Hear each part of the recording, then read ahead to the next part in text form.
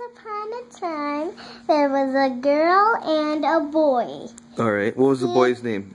The boy was named Luigi, and the girl was, was named, and the girl was named Luigi. She was Princess. Princess Peach.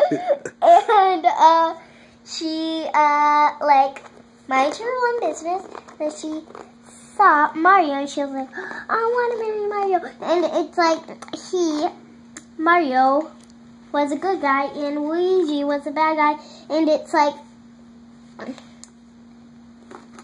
it was like this Mario and P- Princess Peach sitting in a tree.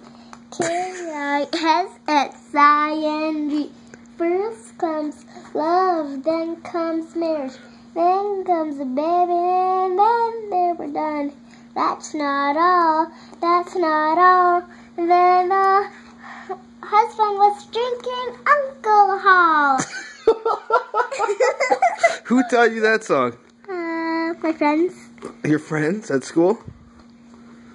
Oh no, The end.